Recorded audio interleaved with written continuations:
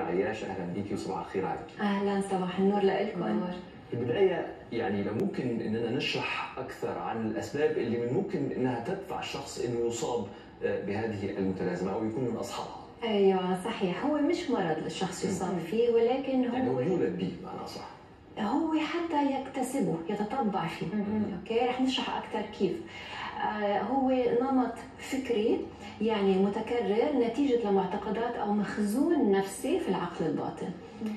خلينا نحكي عن العقل الباطن. نحن آه، توجهنا بالحياة ينبع من كل المعتقدات التجارب الموجودة المخزنة في العقل الباطن. العقل الباطن دوره أنه يحمي البقاء يعني يبعدنا عن الخطر دائما يخلينا بأمان. لذلك نحن بأي موقع أو مكان نكون فيه بشكل لا واعي نطلع على وين الخطر وين الغلط وين النقص. بعدين بدور على المكان الآمن اللي هو بعيد عنه. حتى إذا بتلاحظوا دخلتوا على مكان جديد. تطلع أول شيء آه، يمكن النافذه أنا ما بحب أقعد أقعد جنبها. يمكن في أشخاص ما بحب أقعد جنبهم. شو وين الغلط؟ أول شيء بعدين للاقي المكان الآمن اللي بقعد فيه. فهو نوعا من آلية دفاع أو بقاء أو الحفاظ على الأمان بالحياة. هلا بيصير مشكلة لما بيصير معيق لنا بالتطور بالحياة. بيصير نحن لأنه في خطر ما بنتغير أو ما بنتقدم بالحياة.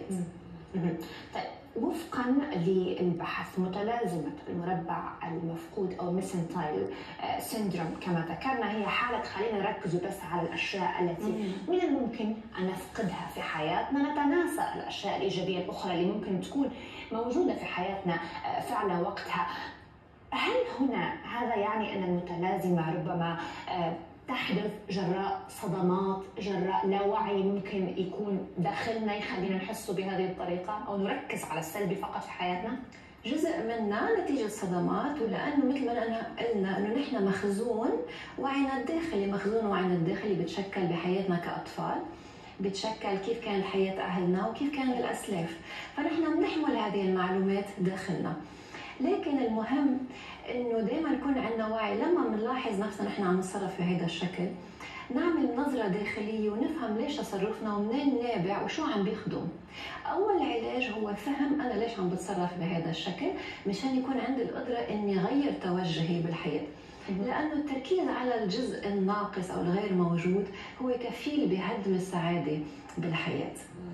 هو كفيل. لأنه بيمنعنا من إنه نعمل الخطوات اللازمه إنه نتطور أو نتقدم بالحياة.